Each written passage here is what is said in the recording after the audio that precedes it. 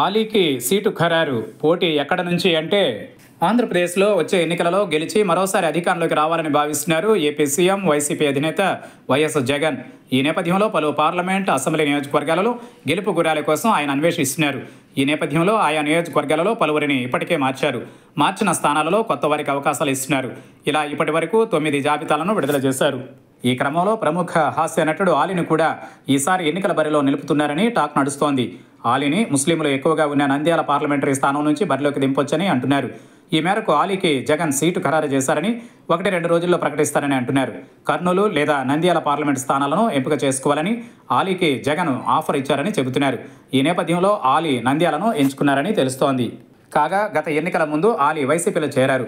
ఆ పార్టీ తరఫున పలు నియోజకవర్గాలలో ప్రచారం చేశారు. ఈ క్రమంలో ఆలీ తన సొంత ఊరైన రాజమండ్రి నుంచి టికెట్ ఆశించారు. అక్కడి నుంచి కాకపోయినా ముస్లింలు ఎక్కువగా ఉన్న గుంటూరు తూర్పు నుంచి ఎమ్మెల్యే అభ్యర్థిగా పోటీ చేయాలని భావించారు. అయితే ఆలీకి ఎన్నికలలో పోటీ చేసే అవకాశం రాలేదు. వైసీపీ అధికారంలోకి వచ్చాక రాజ్యసభ ఎంపీ లేదా ఎమ్మెల్సీగా అవకాశం ఇస్తామని జగన్ హామీ ఇచ్చారు. అయితే వైసీపీ అధికారంలోకి వచ్చాక ఆలీకి ఎలాంటి పదవి ఇవ్వలేదు. మూడున్నరేళ్ళు ఖాళీగానే ఉండిపోయారు. ఇక రెండు వేల ఇరవై ఒకటి చివరిలో ఎలక్ట్రానిక్ మీడియా సలహాదారుగా నియమించారు. ఆలీ కూడా ఆ పదవిలో సర్దుకుపోయారు. కాగా ఆలీ ఇటీవల వరకు వైసీపీ తరఫున సామాజిక సాధికార బస్సు యాత్రల్లో పాల్గొన్నారు. ఆ పార్టీ అభ్యర్థుల తరఫున ప్రచారం చేస్తున్నారు.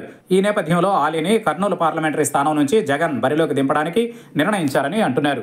గత ఎన్నికలలో సీటు ఇవ్వనప్పటికీ మంచి గుర్తింపు పొందిన పదవి ఇవ్వనప్పటికీ ఆలీ పార్టీ పట్ల విధేయతతో ఉన్నారు.